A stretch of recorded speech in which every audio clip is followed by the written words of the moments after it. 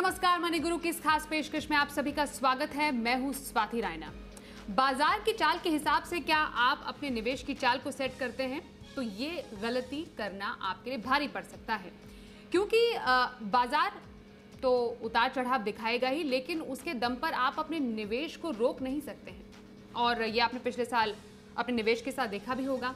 तो आपको करना क्या है? सिर्फ़ एसेट एलोकेशन में थोड़ा बदलाव करना है। अब ये कितना आसान है? आपको कैसे करना है? ये हम समझेंगे निवेश की स्ट्रैटेजी बताने के लिए हमारे साथ जो खास मेहमान है उनका परिचय करा देते हैं। हमारे साथ आज है क्षितिज महाजन को founder Complete Circle consultant Kshitij बहुत स्वागत है आपका शो में। धन्यवाद स्वाति। क्या खास आज हम शो में चर्चा करने वाले हैं? जरा पहले उस पर एक नज़र डाल लेते हैं। आज हम शो में जानेंगे एसेट एलोकेशन से कैसे करें रिस्क को मैनेज मौजूदा बाज़ार में एसेट एलोकेशन का तरीका क्या है? बैलेंस एडवांटेज फंड कैसे करता है जोखिम कम? साथ ही ये भी समझेंगे मिड कैप इंडेक्स में निवेश से अभी क्या मिलने का फ़ायदा।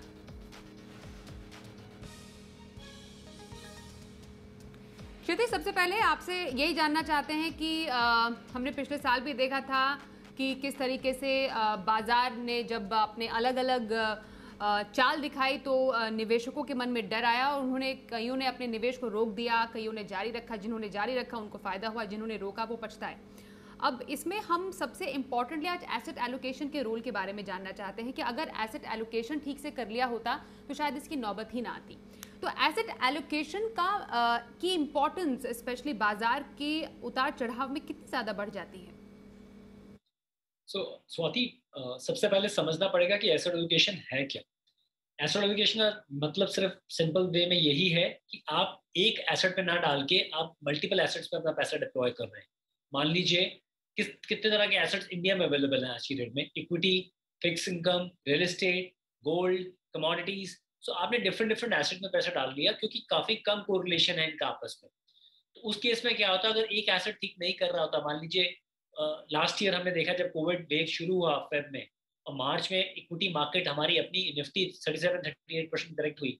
तो गोल्ड के प्राइसेस ग्लोबली और इंडिया में भी स्पाइक हुए और fifty seven fifty eight thousand आपका पर तोला गोल्ड हो गया। सो बिकॉज़ कोरिलेशन ये होता है कि जब कोई एक अच्छा नहीं करता तो दूसरा अच्छा करता है। तो इसलिए it's always good to diversify on asset allocation parameter और काफ़ी क्लाइंट्स अपना जब गोल्ड प्लान करते हैं या फिर जब अपने अपने पैसे की यू नो की इन्वेस्टमेंट की बात करते हैं तो वो एसेट एलोकेशन करते हैं कि मेरा कितना पैसा इक्विटी में जाएगा कितना रियल एस्टेट में जाएगा कितना गोल्ड में जाएगा तो और कितना फिक्स इनकम में जाएगा। सो so, ये एसेट एलोकेशन काफ़ी कंफर्ट देता है उनको क्योंकि हो सकता है कि वो सारा पैसा रिस्की एसेट में नहीं डालना चाहते हो। कुछ पैसा वो लॉन्ग टर्म वेल्थ क्रिएशन के लिए डालना चाहते हो जिसमें इक्विटी और रियल एस्टेट आ जाता है। कुछ पैसा वो तीन से पाँच साल के हराइजन व्यू को लेकर डालना चाहते हो, जिसमें आपका फिक्स इनकम म्यूचुअल फंड आ जाते हैं या कमोडिटी आ जाता है। कुछ पैसा वो अपना तीन साल से कम टाइम के लिए डालना चाहते हो, जो आपका नॉर्मल बैंक फिक्स डिपॉजिट आ जाता है या फिर आर्बिट्राज फंड आ जाते हैं। तो उस चीज़ को देखते हुए आप एक बकेट बनाते हो अपनी और डिफरेंट डिफरेंट एसेट में पैसा डालते हो। ये एसेट एलोकेशन आपको कंफर्ट देता है जब मार्केट्स बहुत वोलेटाइल होती है या मार्केट बहुत अच्छा कर रही होती है। बट एक चीज़ का ध्यान रखना है यहाँ पे कि एसेट एलोकेशन हमेशा इंटैक्ट रहना चाहिए। उसमें वेरिएशन पाँच दस परसेंट का होना चाहिए।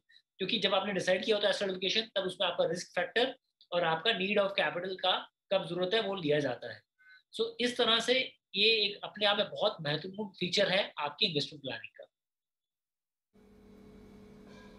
बिल्कुल। तो निवेश तो अब अच्छी बात है कि आपने निवेश की शुरुआत की लेकिन उसको सही ढंग से कैसे आपको मैनेज करना है, ये एसेट एलोकेशन काम करता है। मतलब बाज़ार के उतार चढ़ाव में आपको अपने रिस्क को बस बैलेंस करना है एसेट एलोकेशन के ज़रिए। एसेट एलोकेशन का जो बेस है, का जो आधार है क्षितिज, वो आपसे समझना चाहेंगे, वो कैसे बनता है? किन पैरामीटर्स पर एसेट एलोकेशन को हमें रखना चाहिए? तो स्वाति सबसे पहले आपको एसेट एलोकेशन डिसाइड करना है तो आपको ये डिसाइड करना है कि आपका रिस्क एपेटाइट क्या है। क्योंकि आपका रिस्क एपेटाइट के अनुसार ही आप देख पाएँगे कि आप कितना इक्विटी लेना चाहते हैं, कितना बैलेंस कैटेगरी में जाना चाहते हैं, कितना फिक्स इनकम करना चाहते हैं। दूसरा जो इम्पोर्टेंट पार्ट ये है कि आपको किस किस ब्रैकेट की वेल्थ क्रिएशन के लिए आप अपना इन्वेस्टमेंट कर रहे हैं। काफ़ी क्लाइंट्स होते हैं या काफ़ी लोग होते हैं, वो कहते हैं, हमें सिक्स सेवन परसेंट हमारी जो प्रेजेंट वेल्थ पे हमें अगर रिटर्न मिल जाएगा, वो इनफ है। जबकि मैं यहाँ ये बोलना चाहूँगा कि आपको लग रहा है कि आप six seven percent wealth create कर रहे हैं बट ऑन एन एवरेज हमारी कंट्री में इन्फ्लेशन पिछले तीन चार साल अगर आप निकाल दीजिए तो पिछले थर्टी फाइव ईयर्स उससे पहले का इन्फ्लेशन एवरेज एट परसेंट रहा है। तो आप वेल्थ क्रिएट नहीं कर रहे हैं इनफैक्ट आपका सिक्स सेवन परसेंट का टारगेट वेल्थ क्रिएशन का भी वेल्थ डिप्लीशन का है। सो so, तीसरा इंपॉर्टेंट ये है कि आप जब एसेट लोकेशन डिसाइड करते हैं तब उस समय मार्केट्स की क्या सिचुएशन है? इन तीन चीज़ों को देखते हुए रिस्क पैरामीटर आपका अपना target return from the asset classes and third is capital markets की उस समय क्या सिचुएशन है इन तीन चीज़ को देखते हुए आपको और चौथा एक या ऑब्वियसली पॉइंट है कि आपको कैपिटल की कब ज़रूरत है। क्योंकि अगर आपको शॉर्ट टर्म पीरियड के लिए कैपिटल की ज़रूरत है ऑब्वियसली वो इक्विटी में नहीं जा सकता। इन चार चीज़ों को देखते हुए अपना एसेट एलोकेशन का डिवीज़न करते हैं कि वो किस किस एसेट क्लासेस में जाएगा। बिल्कुल। तो आ, आपका रिस्क एपेटाइट, आपकी उम्र, आपका लक्ष्य, आपकी निवेश अवधि, मार्केट की चाल उस वक्त कैसी है? इन तमाम चीज़ों को ध्यान में रखते हुए आप अपने पोर्टफोलियो को बेसिकली रीबैलेंस करते हैं, उसको एसेट एलोकेशन कहते हैं, किस एसेट में आपको अपना निवेश कितना रखना है। अब इसको मैनेज कैसे करना है? ये समझना ज़रूरी है। अब जैसे अभी फ़िलहाल अभी ताज़ा मार्केट लेवल पर कोई पूछे कि मुझे क्या अपना निवेश जारी रखना चाहिए, क्या मुझे रिडीम कर लेना चाहिए तो आपका जवाब ऐसे निवेशकों के लिए क्या होगा जिनके मन में बाज़ार की अस्थिरता के साथ अस्थिरता रहती है? So, इसमें हमें दो तीन एग्ज़ाम्पल लेने पड़ेंगे स्वाति। मान लीजिए किसी ने अपना एसेट एलोकेशन 50 50 परसेंट डिसाइड किया है and obviously last one year में we have seen broader market movement because of immense liquidity जो ग्लोबली इंडिया में भी आई है इक्विटी को चेज करते हुए।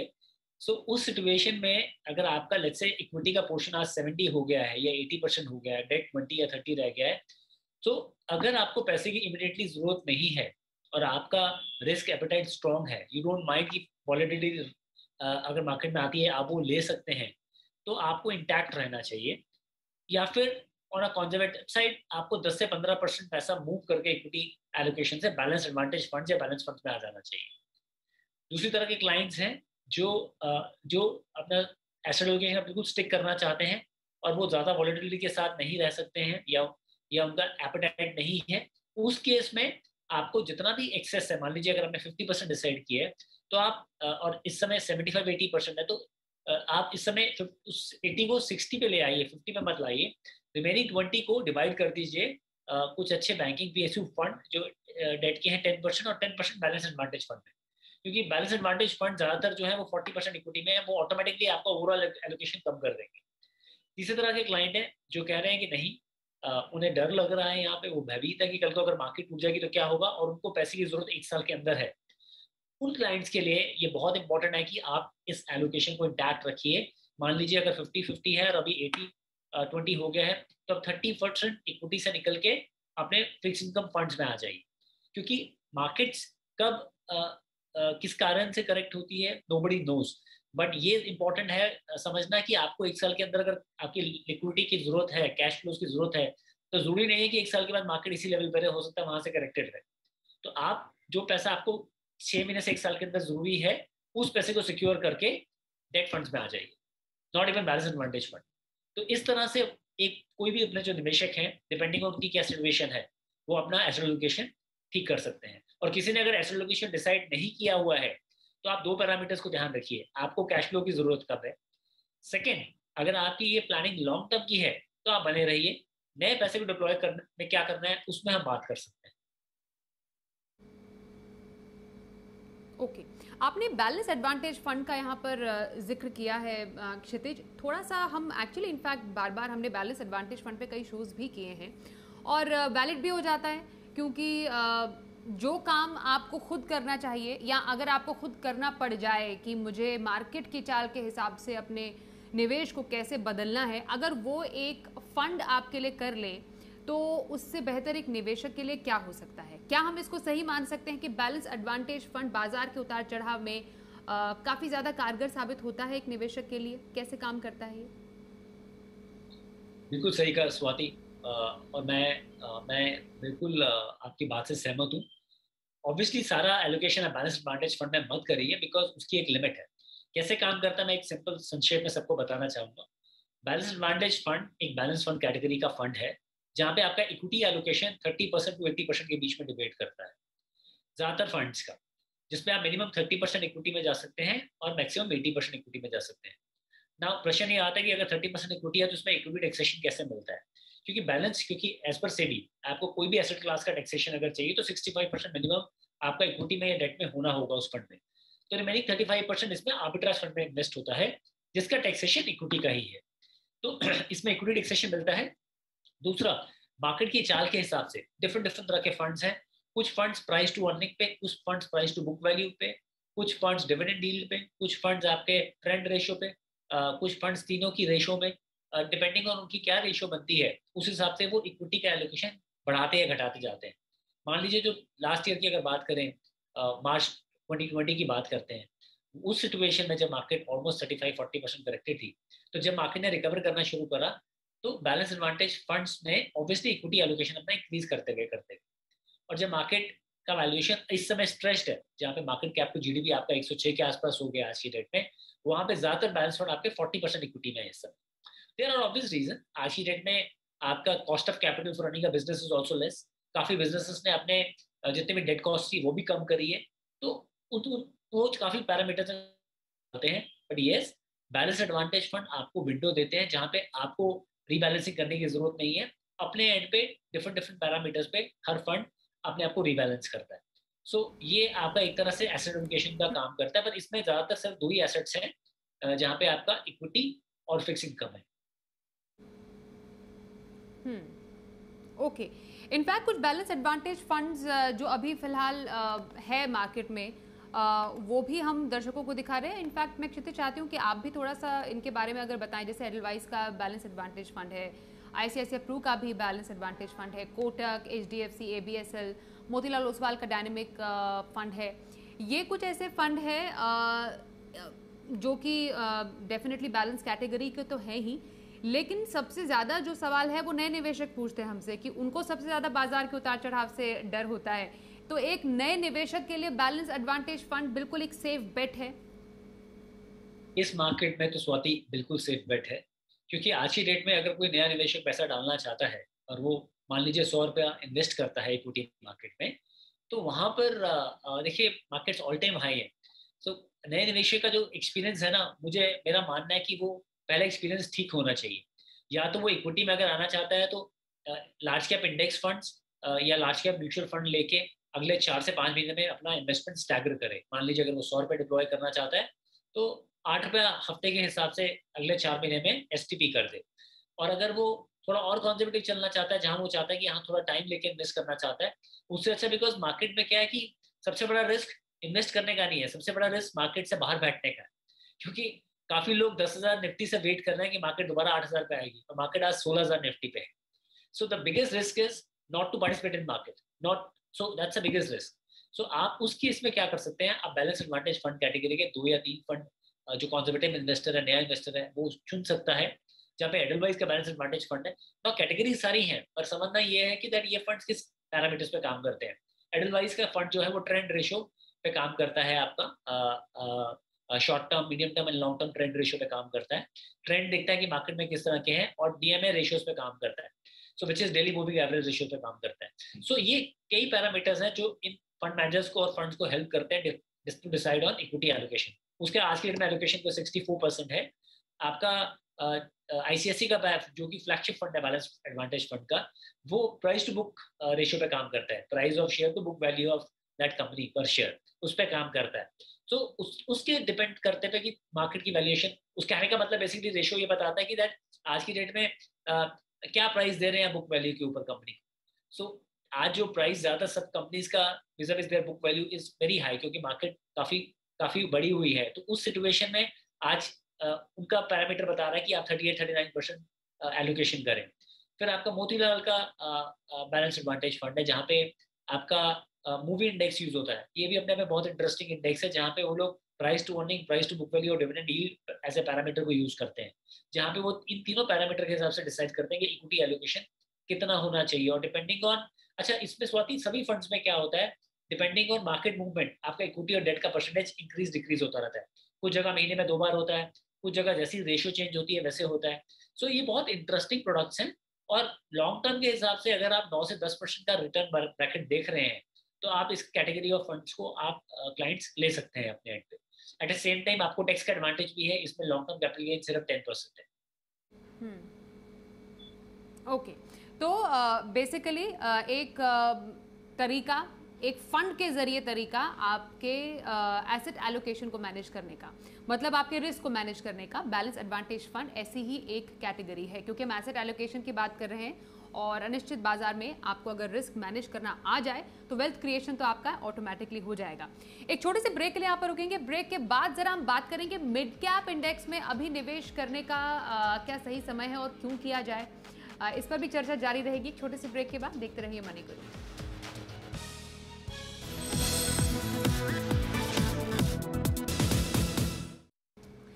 एसेट एलोकेशन से वेल्थ क्रिएशन ये एक तरीका है जिससे आप अपने निवेश में बने भी रहेंगे, अपने जो गोल्स हैं वो भी अचीव कर पाएँगे वेल्थ क्रिएशन भी कर पाएँगे। बस सिंपल आपको करना क्या है? अपने रिस्क को मैनेज करना आना चाहिए। तरीके हम समझ रहे हैं। क्षितिज महाजन हमारे साथ हैं, उनसे हम बातचीत कर रहे हैं आज। क्षितिज, ज़रा ये बताइए, हमने बैलेंस एडवांटेज फंड की बात की, जो कि एक तरीका है कैटेगरी है, जिससे कि आप अपने रिस्क को मैनेज कर सकते हैं, क्योंकि जो ये कैटेगरी है, वो डिज़ाइन ही ऐसे की गई है। कि वो बाज़ार के उतार चढ़ाव में रिस्क को मैनेज करे। एस यानी सिस्टमैटिक ट्रांसफ़र प्लान इसके ज़रिए भी कोई निवेशक जो है वो अपने इक्विटी एलोकेशन को सेट कर सकता है? सो so, uh... देखिए सिप के बारे में बहुत चर्चा की है and thanks to you Swati and many of your colleague जिन्होंने अपने शोज़ के थ्रू इसके ऊपर बहुत बात करी है। एस के ऊपर भी शोज़ किए मैंने खुद आपके साथ कवरेज की है। ना एस टी पी इंपॉर्टेंट हो जाता है जहाँ पर आपके पास लमसम एलोकेशन इनफैक्ट मैं तो ये मानूँगा कि दैट चाहे मार्केट बहुत बड़ी नहीं भी हो और रीजनली ठीक चल कर रही हो वैल्यूएशन मैट्रिक्स पे तो भी एसटीपी ही सही तरीका है। डिपेंड करता है कि आज मार्केट इतनी बड़ी हुई है तो डिपेंड करता है कि वैल्यूएशन स्ट्रेस है कि आप उसको तीन महीने की जगह चार महीने की एसटीपी कर दीजिए। उसका बेनिफिट ये रहता है कि आप अगर equity allocation pure equity allocation लेना चाहते हैं आज की डेट में और आपका रिस्क एपेटाइट है आप यंग हैं आपके पास टाइम होराइजन है अपने आपके पास। So right way to invest in that cases कि आप सीधा इक्विटी uh, में पार्टिसिपेट करें। But but at this level lump sum investment I will say that नहीं। That's not a right way to do it सही तरीका वही है कि आप वीकली एसटीपी करें। मान लीजिए कोई भी फंड लें आप उसमें हंड्रेड रुपीज़ डिप्लॉय करना चाहते हैं। ऑन अ वीकली बेसिस आप सेवन टू एट रुपीज़ करके अगले टेन टू ट्वेल्व वीक्स के अंदर उसको डिप्लॉय uh, करें। एंड इसका बड़ा सिंपल सा प्रोसेस होता है। आप उसी म्यूचुअल फंड का, मान लीजिए आप कोटक फोकस में करना चाहते हैं तो आपने कोटक लिक्विड फंड में अपने पैसे रख दिए और वहाँ से एक एस ट्रिगर कर दी, जो आप ऑनलाइन भी कर सकते हैं ट्रिगर और आपने उसमें वीकली ऑप्शन ले लिया कि, और आपने डिसाइड कर लिया कि आपको ट्वेल्व वीक्स में करनी है एसटीबी तो ऑटोमेटिकली उतना पैसा डिवाइड होके आपका मंथली वीकली बेसिस पे इक्विटी में एक गिवन डेट को स्विच होता रहेगा। लेट्स से अगर आपने मंडे लिया तो हर मंडे को वो स्विच होता रहेगा। So that's how STP help करता है।